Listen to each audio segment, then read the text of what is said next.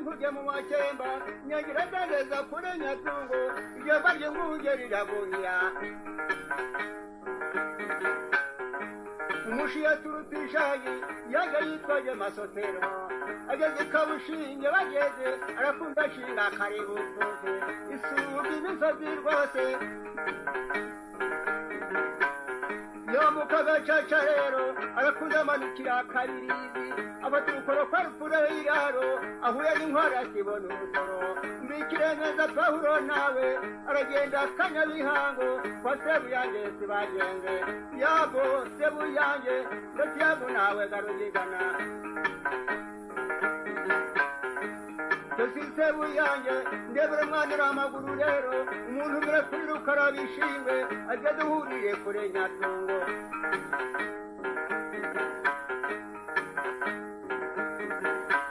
sebuyange yarebye umwana aramutumye se bwangu rero ati genda ubwire rukara bahure n'umuzungu kure nyatungo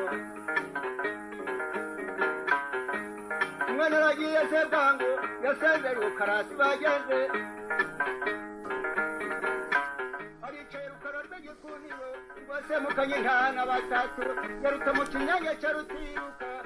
mwongeye kwiriranwa amahoro y'imana nshuti bakunzi ba radiyo inyenyeri ah, ni ngewe jean pierre cyangwa jipe wongeye kubasuhuza muri iki gice cya kabiri cy'intwari twari tugiranye na nobo marara. Nkaba rero ngira ngo nongere mugarure kuri rinye abasuhuze nobure marara bite byawe? Ah, mw- mwiriwe jean kandi ndasuhuza n'abateze amatwi ah, mbifuriza umugoroba mwiza murakoze. Ya, urakoze cyane rero nobure marara. Ngira ngo ikiganiro twagiranye cyari kiryoshye cyane. Iki- mu gice cya mbere cy'intwari ubwo rero murumva ko n'indirimbo dutangije iki gice cya kabiri yari irimo intwari rukara rwa bishingwe none se nobure marara rukara rwa bishingwe noneho wamumenye uramuvugaho iki ko tuzi neza ko ari umuntu wagaragaje ubutwari kandi wavuzwe cyane mu mateka y'u rwanda?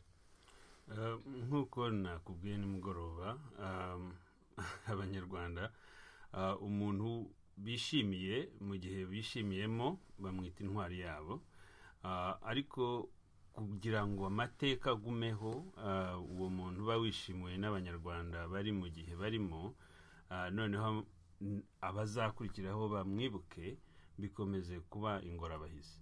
Ah, bigaragara ko hari komanteri nyinshi cyane zagiye ziza bamwe bavuga bati nyamuneka mwabana mwe murakubagana rukara rwa bishingwe ntimumuzi kuki rukara rwa bishingwe yari umuntu ah, wahataniye kugira ngo abanyarwanda bagire uburenganzira ndetse yakozanyije amakofi n'abazungu. Ati yakubitaga abazungu ah, kubera ko bari babangamiye abirabura ndetse b'abanyarwanda mu karere yari arimo.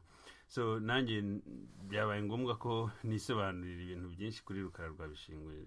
Ah, nk'uko nakubwiraga neza nkubwira nimugoroba ariko numvise hari imiduri byari biki ariko bigaragara ko amateka yatasigasiwe neza kuko iyo ajya gusigasirwa ntabwo nimugoroba nanjye nari bube ndimo kwibaza uwo urimo kumbaza uwo ari we Ah, ntabwo byarangiriye aho gusa komantere zaje ari nyinshi ku buryo bavugaga bati ah, independence y'u rwanda ngo kugira ngo iboneke ngo byabayemo akazi kenshi cyane ku buryo ngo n'umwami rudahigwa yabigizemo akazi gakomeye cyane ngo ahubwo ah, ikivi cyasojwe ah, na mbonyumutwa ari nawe ah, abanyarwanda benshi mu minsi ishize bavugaga batese ah, umuntu waduhaye independence umuperezida wazanye independence mu gihugu? Ariko ntabwo n'umugogo we wubahirijwe bawimuye ikitaraganya bawukuraho wararuhukiye ah, bawujyana iheru heru nta n'uhaza uyu munsi. So hari ikibazo gikomeye cyane cyo kuba dufite ah, u- u- imyumvire yo kumva ko umuntu ufite ingufu agomba gu- guhanagura amateka ah, agashyiraho ubwe yishakiye. So habayemo abandi bavugaga bati rwabugiri yaguye u rwanda yinjiye i bugande yinjira i bufumbira afata bufumbira agera masaka. Muri uganda yagura u rwanda atari ko abazungu baje bakase imipaka u rwanda rurongera ruba ubusabusa. So ariko rero ibyo ntabwo byabazwa rwabugiri wari waguye u rwanda ahubwo byabazwa abazungu batugize ah, agahugu kangana urwara ariko kandi um, hari habayeho akazi kenshi kakozwe n'abakurambere. So intwari rero z'u rwanda ah, uburyo bwa mbere bu- bukomeye tugomba kureba ni uburyo bwo gusigasira amateka. Kuko iyo amateka atakara na zo ntwari ni bwo tutazimenya ni nabwo bantu nkanjye umbaza uti rukara rwa bishinga nkabubwira nti numvise imiduri. So ni isomo ryiza kuri uyu mwaka w'ibihumbi bibiri na makumyabiri aho abantu bagomba gusubiza amaso inyuma bakareba ibituranga tugenda dutakaza nk'abanyarwanda. Identite yacu igenda itakara buke buke bitewe no kugira ngo umuntu utazamara n'imyaka mirongo cyenda akoresha ingufu zo kwibagirisha amateka y'abanyarwanda muri rusange. Murakoze. Urakoze cyane nobure marara. Nabonye komantere nyinshi ziza ziza. Eh, abantu ba- bavuga bati rwose ibyo mwavuze ni ukuri. Ndetse abantu benshi bishimiye ikiganiro twakoze kubera ko barabizi ko dukora ikiganiro tudakanje amanwa Eh, mu bintu rero by'ubutwari twagerageje kubisobanura mu gice cya- cyacu cya mbere. Tukaba iki gice cya kabiri tugiye kugaruka ku buryo dushobora gusigasira nk'uko wahoze ubivuga intwari zacu z'abanyarwanda ese twazisigasiga dute? Cyane cyane ko dufite ikibazo kidutandukanya. Iyo urebye abanyarwanda b'abahezanguni bo mu moko yose ari abahutu ari abatwa ari abatutsi buri muntu wese nyine n'ubwoko bwe aba ashaka gukurura yishyira. Ese twagera ku buryo twajya dusigasira ubutwari bw'abacu dute tutitaye ku moko wadusobanurira ute eh, nobure marara?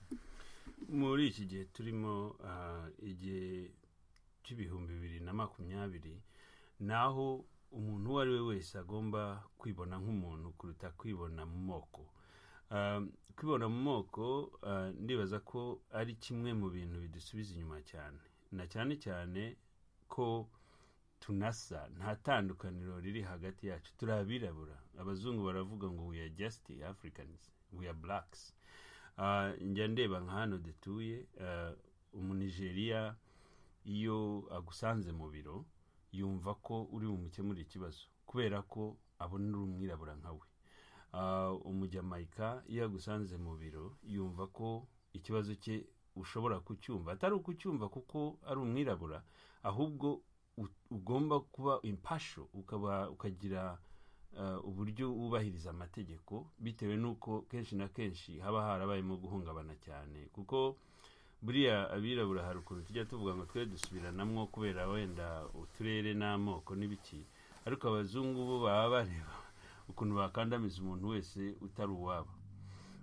Ah, na cyane cyane kugira ngo tubashe gutera imbere mu bihugu by'abazungu ni ukubera itegeko twubahiriza n'ubucakura bwinshi cyane habamo ubucakura cyane Ah, hari n'igihe ubwira umuntu ko ibyo arimo gukora ari byo kandi ubizi ko atari byo kubera ko ari umuzungu kugira ngo ata- atakubi- ataku- atakubikira imbehe niko nabyita. Ariko tukababara tukabana nabo tugakorana nabo tukabasha no kwitunga ndetse n'imiryango yacu. So iyo bijemo rero kuba abantu ari abirabura i burayi kenshi na kenshi usanga ah, twubahiriza amategeko kugira ngo batazanavuga ngo twabereye abirabura bene wacu. Ndetse ugasanga um, iterambere mu kazi ryagombye kuba ryoroshye cyane ku bumenyi busanzwe buciriritse uh, tick box uh, ku mwirabura agomba kuba outstanding. Outstanding ni ukuba uri inararibonye mu kazi kugira ngo ubashe kuzamuka. Um, ibyo rero ku mwirabura hari igihe anazamuka kugira ngo uh, umuzungu akomere. Bitewe n'uko we aba azi akazi cyane ku- ku- kugira ngo yimakaze uwo muri hejuru. So ibyo rero ibintu byo ku- kuba abantu bahatanira utuntu no ku no gushakisha ukuntu wururira ku wundi utwo ni utubazo dusanzwe turangizwa n'amategeko. Ah, ariko ku kintu cyerekeranye n'igihugu cyacu nk'abanyarwanda iyo ugiye kureba ibibazo bidutandukanya. Mba ndeba ku mbuga kenshi na kenshi abantu bagarura amateka kandi buri gihe iyo ugaruye amateka y'abanyarwanda uba urimo gushaka kubacamo kubiri nanone kuko amateka nta handi arangirira usibye uburakari kuko abanyarwanda baricanye. Ah, baricanye kandi iyo abantu bicanye noneho mukajya muhora muganira ku bwicanyi murongera mukagira indi nzika indi nzigo n'uburakari. Ariko iyo urebye ibibazo muri iki gihe turimo cy'imyaka turimo ah, bibangamiye abanyarwanda ntabwo ari amateka yacu mabi. Ahubwo ni inzara ni ubuvuzi ni ukwiga ni uburenganzira ni ukudapfa inyorwa ngo umuntu bamushyire mu gipfunsi. So gukandamizwa eh, ndetse no kubuza abantu uburenganzira bwo kwishyira bakizana ni byo bibuza amahoro abanyarwanda b'uyu munsi. Iyo rero bijemwo ah, ibintu byo kugaruka mu mateka ntabwo mvuga ngo amateka tuyibagirwe ariko amateka tuyibuke mu buryo bwa history Ah, tuyibuke nk'uko nyine yitwa amateka. Apana kuyubakiraho igihe turimo kuko igihe turimo ntabwo ari icyo kubakirwa ku mateka. Ni igihe cyo kubakirwa ku iterambere igihe cyo kubakirwa ku burenganzira kubakirwa kuri uh, kwiga no kumenya. Kuko umuntu wese wize aramenya utize ni utamenya um, ni igihe turimo cyo kureba uburenganzira ni igihe cyo kubahana ni igihe cyo kudareba ngo iwacu twari abakire iwabo bari abakene ngo uyu munsi ashoboye ate gukomera. Ni igihe cyo kutareba um, ngo uyu nguyu ngo yari umwana wa naka nta kibazo umuntu yaba umwana wa naka. Ni na byo ejo bundi twumvaga hano uh, kabarebe arimo gutererana amagambo n'abandi banyaburakari nka we. Um, ugasanga umuntu ataye umwanya umunsi wose arimo arandika ngo uko kabarebe ngo yavuze amagambo y'amacakubiri. Yes ni byo amacakubiri tugomba kuyamagana. Ariko nta nubwo tugomba kuyatsindira buri wese kubera ko yavuzwe n'umuntu umwe.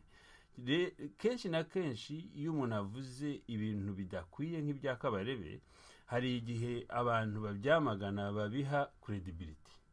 Ah, ni ukuvuga nka kabarebe ugasanga umuntu yagombye kuba ashaka ukuntu amusubiza kundi ah, kujyanye no kumwigisha nawe kuko kuba avuga biriya ni ukuvuga ko ubumenyi bwe bugenze butakaza agaciro kuko arashyira imbere ibyo we yifuza kuruta kureba inyungu z'abanyarwanda. So ayo macakubiri abanyarwanda amoko n'ibindi njye nayakunja mu buryo bumwe. Twese tuva amaraso. Kandi kiriya gihugu tugomba kugisangira byanze bikunze. Kandi turi abirabura niko abanyamahanga batubona. So ikintu cyonyine kiduhuza ni ukuba dusabana umunyu ni ukuba turarana ni ukuba dusangiye akabisi n'agahiye muri kariya kantu kacu kangana urwara kadafite na puratifomu ku isi.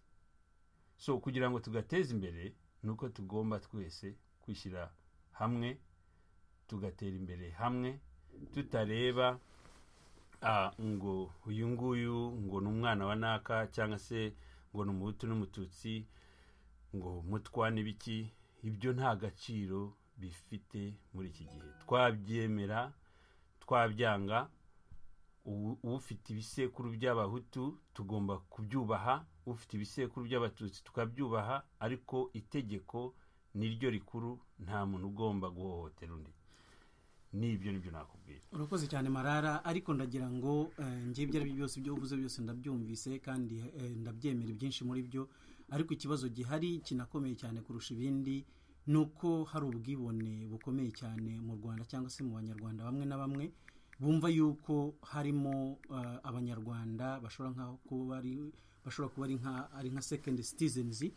Eh, iki kiganiro dukoze kinyibukije umuntu umwe twigeze kuganira wari mu nkotanyi eh, uba inahangaha. Twigeze kuganira rwose ikiganiro arangije arambwira ati rero jean pierre ubu twebwe inkotanyi twafashe umugambi wo kubaka umujyi ubundi tukagira abanyarwanda duheza bakazajya baza mu mujyi babanje gukaraba.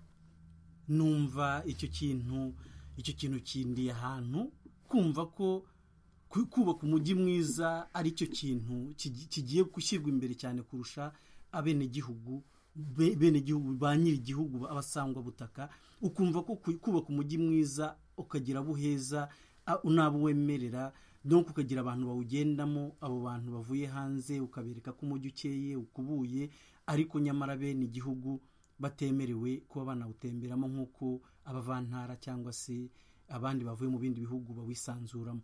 Ibyo bintu rero nkaba nsanga eh, biri mu bwibone deja biranakabije kumva ko hari abanyarwanda bagomba kwigizwayo batagomba kwegera umujyi kugira ngo donc kugira ngo hagaragare ko hari abanyarwanda basa n'abatoranyijwe cyangwa se ibivajuru nk'uko bamwe bajyaga bibeshya ko hari abantu b'abanyarwanda b'ibivajuru abandi ngo basanzwe ngo donc iyo abanyarwanda ba, donc bagiye bibona bakanibonekeza umuntu yaba afite uruhu rwiza akumva ko undi muntu ushobora kuba afite ikibembe ikibembe ahantu ko uwo nguwo atari umuntu umuntu yaba afite yaba afite inseko nziza akumva se ko afite ikindi kintu arusha abandi banyarwanda none marara ndagira ngo muri ibi bihugu twagezemo eh, cyane cyane biri develope abantu twese twabaye sivo ushobora kugenda ntabwo ari ngombwa ko abantu bose basa kandi ntabwo ari ngombwa ko umuntu usa neza ari we mwiza ku mutima. Wowe marara wakwigisha abanyarwanda bakurikiye iki kiganiro iki? Ku bintu bijyanye n'ibyo ngibyo n'iyo angire nari ndimo nerekezamo yuko nyine harimo abumva ko bahiswemo abandi bakaba ari ba bandi nyine. Twebwe na ba bandi ibyo bintu by'abantu bita ba bo nyine na ba bandi wowe ubivuga heki urakoze? Ah, ibyo ngibyo ah, erega hari ibintu buriya dushobora gushakira ibisubizo ah, hari n'ibintu tudashobora gushakira ibisubizo.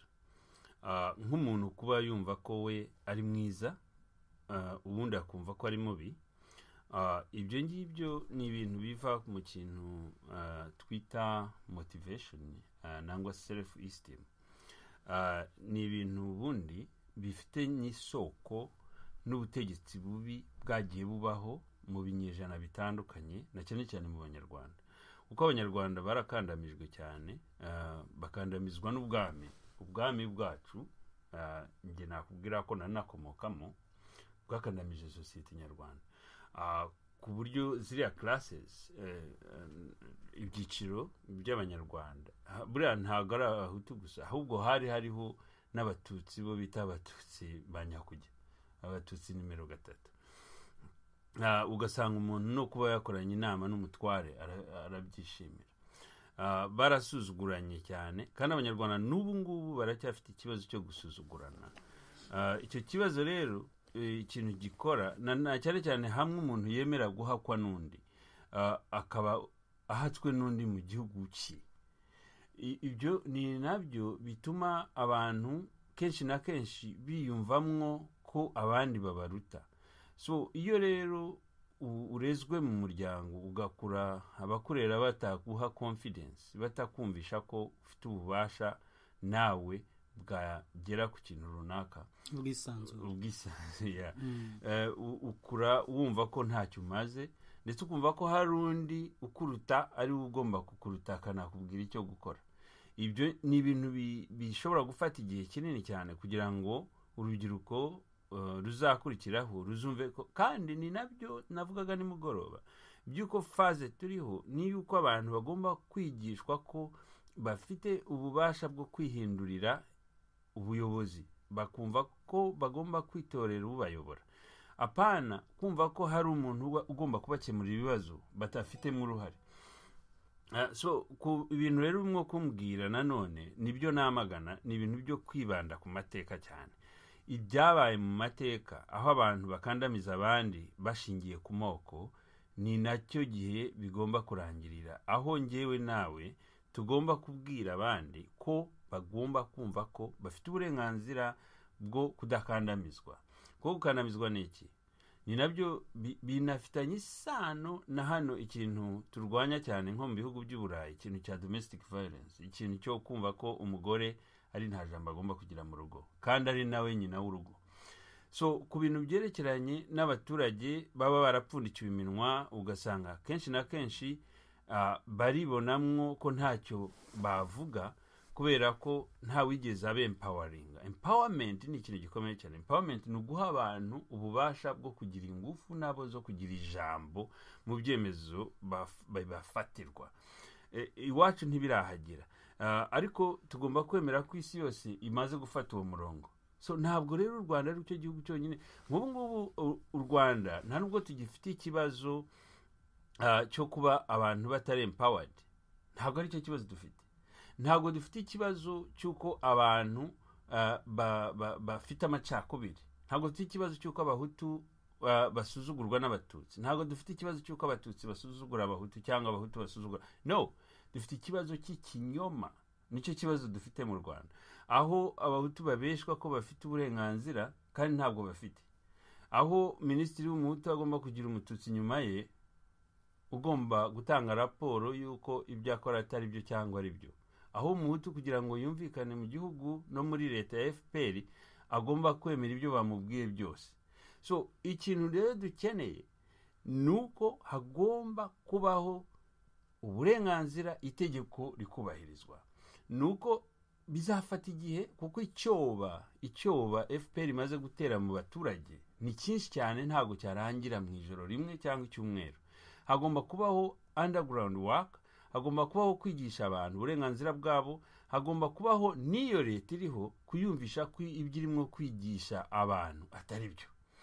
Ariko ikibazo gikomeye cyane ni uko ababa bavuga ko barimo gukora politiki banahanganye n'iyo leta kugira ngo bakemure ibibazo nk'ibi ngibi turimo kuvuga nabo ubwabo baba bafite ibibazo nk'ibyo mu mashyaka yabo. Aho ni ho ikibazo kiri. So ntabwo dushaka kuzamera nka somaliya ntabwo dushaka kuzamera nk'ibihugu byananiranye by'abarabu dushaka ko tuzafata umurongo nyawo kuko abana b'u rwanda baba abahutu baba abatutsi cyangwa abatwa ntabwo bifuza kuzagira ikirenge mu mateka yatumariye. So ni na yo mpamvu ngewe nkubwira ngo ni faze turimo faze zihinduka gute? Zihinduka ari uko hafite abantu bafite imitekerereze yenda itandukanye ntabwo nshaka ko hari umuntu ujya gutera amasasu ubundi. Ikintu ngewe nifuza ni uko tugomba kucarenginga tukekisasayizinga memorizi zacu n'ubumenyi dufite. Byiza cyane buriya hari ibintu kenshi na kenshi abantu bita bibi ariko mu by'ukuri ari byiza.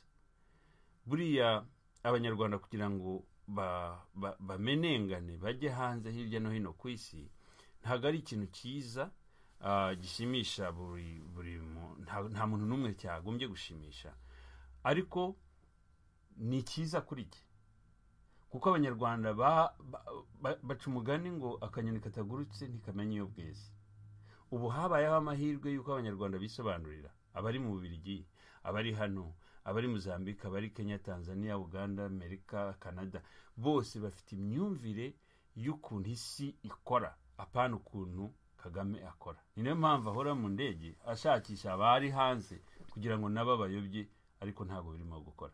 So ngusubiriye rero ku murongo w'ikibazo cyawe njye nakubwira yuko kwigisha gusobanura no gutandukanya amateka n'ejo hazaza ni ikintu cyihutirwa cyane ku mitekerereze y'urubyiruko ndetse mutazadoroga abana bari hanze. Ngo mubagire nk'abariya akabarebe yagize ibikinisho yicaza akabeshya akadoroga bakajya kwica bene wabo.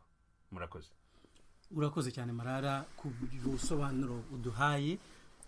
Ariko njye ku giti cyanjye nubwo ubisobanuye neza ngewe byatumye ngira ibibazo nka bibiri. Numva nshaka kukubaza ariko mbere y'uko mbikubaza reka mbanze nsobanure ko mu by'ukuri abanyarwanda abanyarwanda mbere y'intambara y'inkotanyi ya za mirongo cyenda nubwo wavuze ko ari amateka ariko tuyagarutseho gatoya kugira ngo twumvishe n'abanyarwanda yuko na yo tuyibuka. Ntabwo njye mbona ibyo inkotanyi zaje zibeshya abanyarwanda bitaragezweho ndetse ngasanga hari n'abantu benshi bagiye bavutswa uburenganzira bwabo tukaba twese tubizi. Mu by'ukuri rero ntabwo byagombaga kuba kuriya ariko ndibaza ntese muri aka kanya iyo utekereje nk'umunyarwanda uri mu rwanda ukaba wamubwira uti nimwe mwagombye kwihindurira ibintu? Abo banyarwanda ntibahindukira bakavuga bati ariko mwebwe muhaze ifiriti n'amaguru y'inkoko kubera yuko twebwe turi ku ngoyi turi mu butayu ntawe ushobora no kuzamura umutwe urazamura umutwe bakawumena mwebwe ntabwo muzi ingoyi turiho mushobora kuba mutekereza ariko twebwe bitumereye nabi kubera yuko wa mugani iyo umuntu atari mu rwanda agerageza ku twese dufitiye inshuti abavandimwe ariko agerageza kureba situwasiyo noneho agakora asesimenti y'iyo situwasiyo akurikije ibyo abona ariko abanyarwanda ntekereza ko bafite ikibazo cyo kuba bakandamizwa kandi batemerera no kuba bafungura umunwa wabo ngo bavuge aho ibintu bitagenda. Kubera yuko ejo hashize uwabivuze yarapfuye mu mwaka ukwezi kwashize uwabivuze yararigise ugasanga nyine buri muntu wese ibintu aremera akaba yabipfana mu nda. Mu by'ukuri rero Eh, si natwe gusa kandi si n'izo assessment dukora gusa kandi n'abamporiki yarabyivugiye ko nawe ku giti cye ahora asimbuka imitego buri munsi kugira ngo arangize akazi ka buri munsi afite. Imagine noneho we ni umutegetsi afite noneho n'abamurinda afite noneho n'aho avugira n'ibyo akora n'abamurinda nawe none umuturage nyakujya uwo muturage azashobora kugira ikintu avuga cyangwa ageraho ate mu gihe dufite leta ikandamiza abanyarwanda bose ititaye kuko umuntu ari kubera ko ifite ibyo ireba imbere kandi kuba yita yaba yita ku bibazo by'abaturage turabizi ko ntabyo kubera ko ntushobora gusandaguza amafaranga urya imitungo y'igihugu ugenda urara mu mahoteli yishyura amadolari ibihumbi mirongo itatu ku ijoro makumyabiri se. Kandi umunyarwanda adashobora kugira ku- kugira ibiryo kurya kabiri ku munsi bigoye ndagira ngo ube wadusobanurira. Ubwo se uwo munyarwanda yahera hehe? Avuga ati ariko urabizi napfundikanye n'amateka. Erega hari ikintu kimwe mugomba kumenya. Ah, guhindura sisiteme ah, no guhindura ubutegetsi ni ibintu bibiri bitandukanye. Perezida kagame yagize neza kuko ntabwo yubatse inzego. Burya iyo perezida yubatse inzego biragora cyane kugira ngo imyumvire ye acengeza mu baturage izabashe kurimburwa. Ariko we yariyubatse wenyine. Bivuga ngo niyo yarwara umusonga ejo im- imyumvire ye ashyira imbere iba irangiye so ibyo ntabwo bigomba gutesha abanyarwanda umwanya. Icyo abanyarwanda bagomba gutaha umwanya uyu munsi ni ukureba ukuntu urubyiruko na sosiyete nyarwanda batatandukanywa n'imyumvire y'umuntu umwe urimwo kwiyubaka wenyine. Sinzi niba ubyumva. So kagame akamanyu k'umutsima imyaka amaze ayimaze yiyubaka wenyine. Ntabwo yigeze yubaka institutions. Ku buryo njye nshobora kugusubiza inyuma hari ibihugu byinshi cyane byagiye bigira abaperezida biyubakaga ndetse bamwe bagerageza no kubaka inzego. Ariko ntabwo byabashobokeye. Niyo mpamvu ndaguha nk'urugero nka uganda. Perezida museveni kugeza uyu munsi yubatse inzego.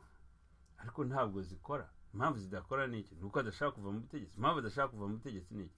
Ni uko inzego yubatse zagiye zishwanyuka bitewe n'uko abantu yabaga yubatse muri izo nzego bavugaga bati watubwiye ko uzagenda muri uyu mwaka ariko ntiwagiye. Perezida kagame ntabwo ashaka kugenda. Impamvu atashaka kugenda ni uko yafashe igihugu akakivanga n'ubucuruzi bwe. Ni na yo mpamvu ureba ndaguha nk'urugero ejo bundi nari ndimo kuvugana n'umuntu ah, wari uri nko kugendera mu ndege y'u rwanda. Ah, ndamubwira nti rero bi byiza cyane urambwiye yuko urimo kugendera muri iyo ndege eh, ko nta bantu barimo ngo nta bantu baba barimo ngo harimo abantu bake cyane. Ah, ndamubwira ariko iyo ndege iragenda. Ariko rero va kuri telefone unavute nimero yanjye kuko ugiye gutaransita i kigali. Arangije arambwira ngo bamufotoye ariko icyo ndimo kugera bamufotoye kubera iki? Kubera ko barafotorana igihugu cy'u rwanda n'ubugande buri umwe aba afotora mugenzi we. Ugiye kugira u rwanda w'umugande baramufotora kugira ngo nabura u rwanda ruzamubazwe. Ugiye kujya ubugande ah, w'u rwanda ba- baramufotora kugira ngo naburire ubugande bazamubaze ubugande so mu by'ukuri um, igihugu cy'u rwanda gikoresha eri rwanda kubera iperereza. Ntabwo gikoresha eri rwanda nka source of income and business. Kubera iki? Ntabwo ihomba kuko ifite investment. Hari abayinvestamo kugira ngo ikore zikora ibyo. So kagame igihugu akiyoboye mu buryo bw'iperereza. Ntabwo akiyoboye mu buryo bw'iterambere ntabwo akiyoboye mu buryo bwo kubana neza n'abaturanyi. Ariko ikibazo cyawe warimo kumbaza warimo kunyereka ngo ingufu za kagame n'ukuntu acecekesha abaturage. Uyu munsi na- na- nakoze koti um, ku nyenyeri babwira ko uh, iyo ucecekesha abantu ukabagira intama nabo bagaceceka bakaba izo ntama.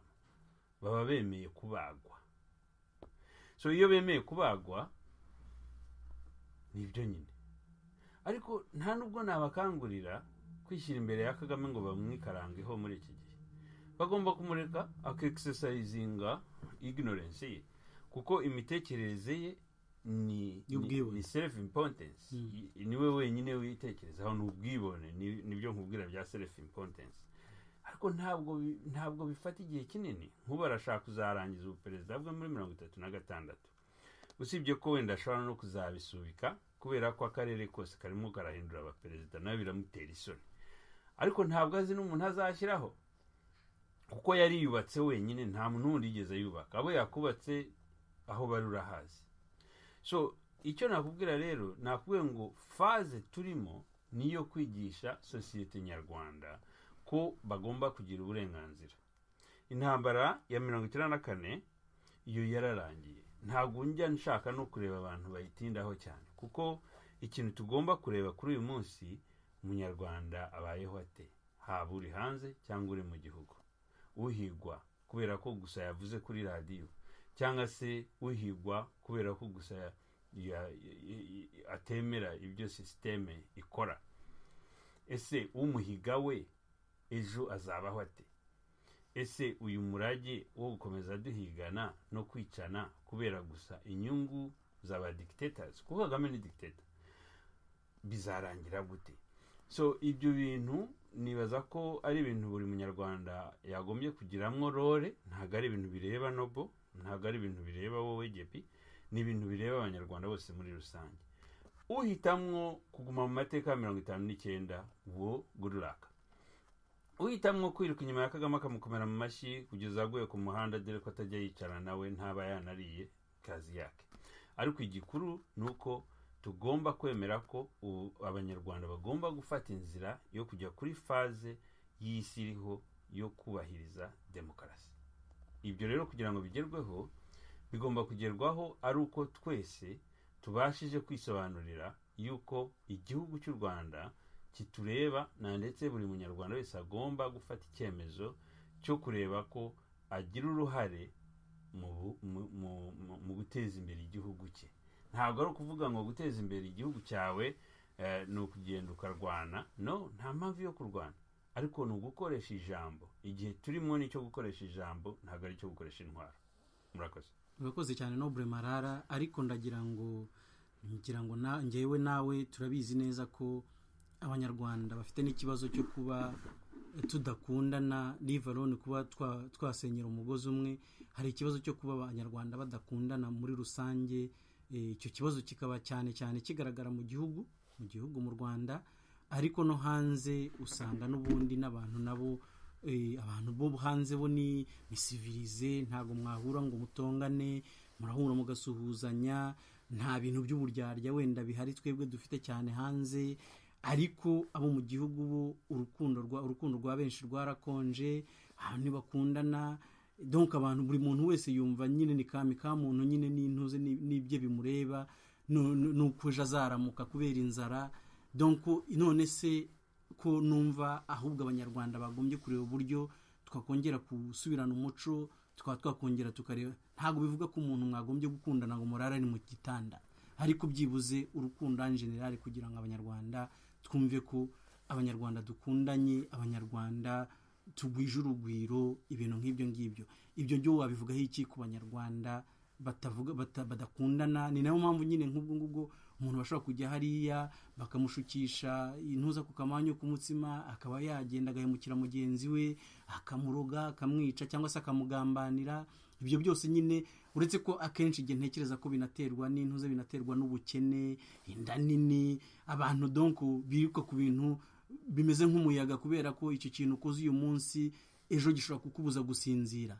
None kubera iki ibyo bintu by'urwango no kudakundana uretse ko na- nanabyumvise ko no mu rwanda naho batangiye kubyiyemerera noneho kwerura bavuga bati ngo abanyamuryango ntibakundana ariko si abanyamuryango gusa njenera ubundi ni abanyarwanda bose badakundana ibyo bintu wowe ubibona ute ubivugaho iki? Abanyarwanda se barakundanira iki? Barakundana none se waza wazahindura se ubutegetsi bw'ubuditateri ute ntabwo bagomba gukundana bagomba kubahana. Um, ikintu cya mbere bagomba kuba ku- gukurikira ni ukubahana bakumva ko bose bafite role ku guteza imbere igihugu cyabo. Bakumva ko bose bafite uburenganzira ku gihugu cyabo. Nta mpamvu yo gukundana. Ese ubundi gukundana uragira ngo n'abazungu hano byarabananiye baravuga ngo ngo resizimu n'ibiki byose.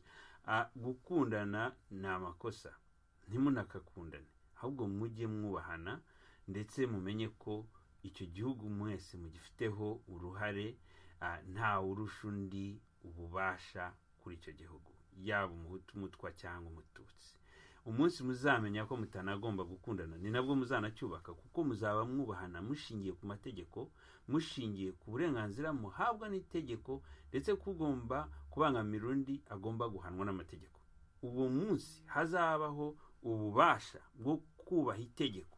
Nibwo icyo gihugu kizatungana. Naho ibyo kubeshyana ngo murakundana ndetse umuntu burya nakubwira ngo aragukunda ujye umuhungira kure. Naduwi namba wani umuntu agukundana munagane ese umuntu agukunda kubera iki?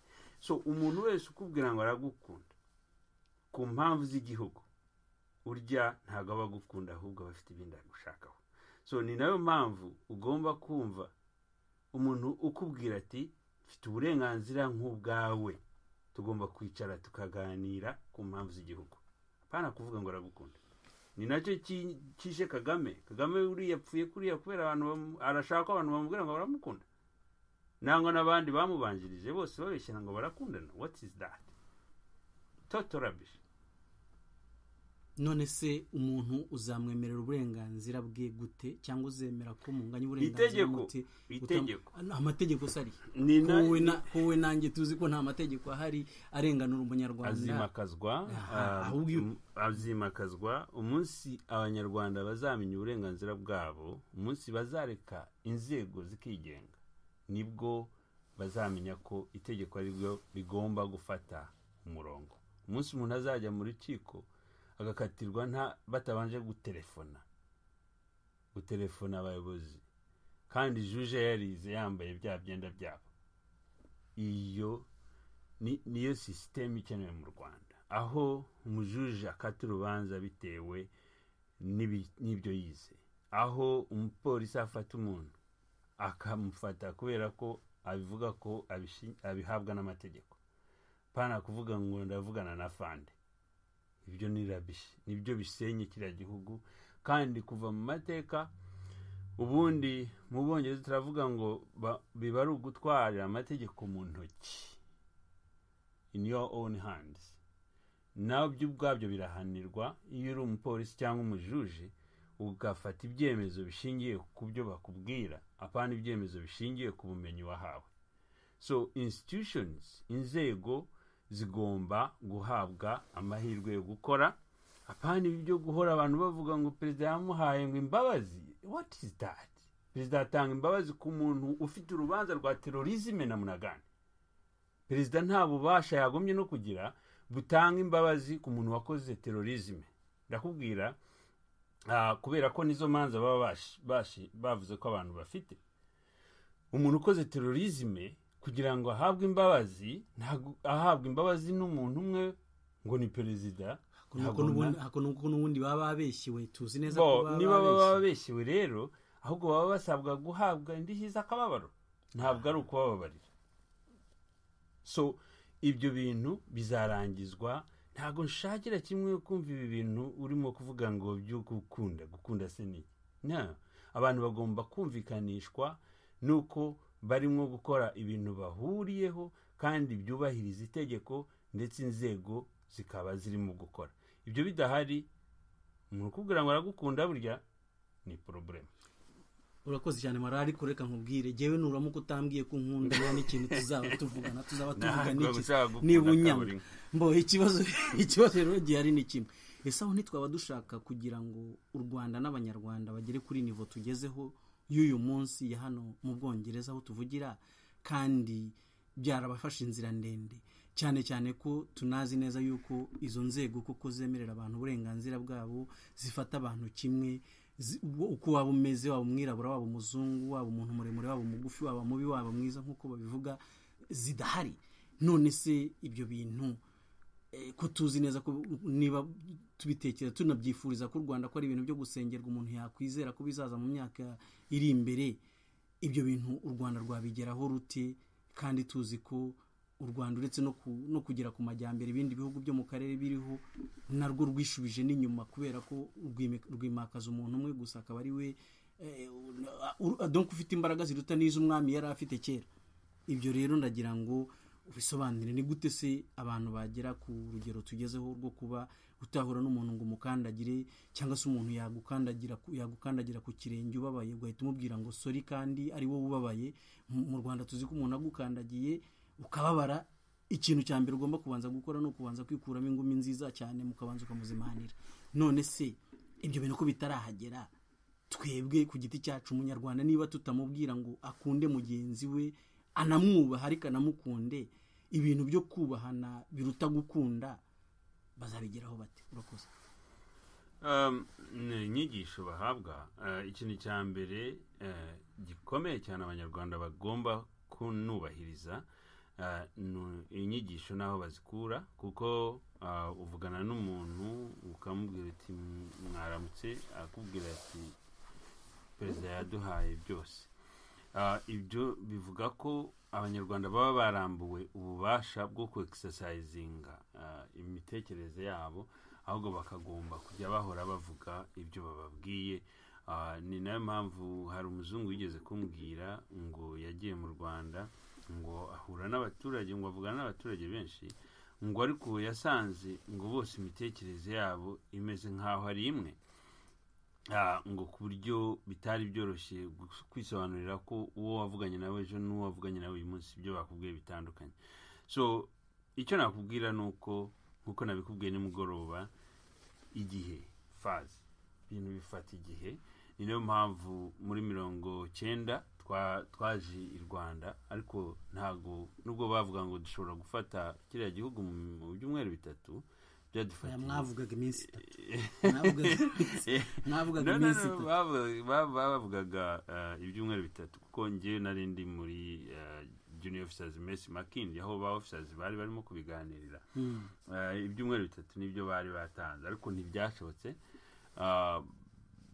byabaye imyaka ine.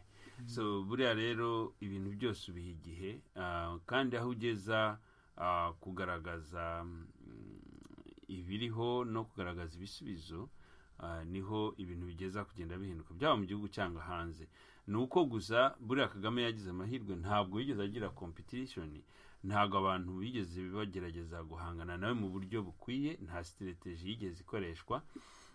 Ah, kubera ko hanini abantu benshi bakomeje kwiyumvisha ko ah, intambara kagame harimwo nanga se bo barimo igomba gukoreshwa umujinya.